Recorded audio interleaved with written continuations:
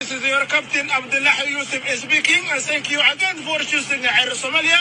Now we're ready to taxi after the delay for three days.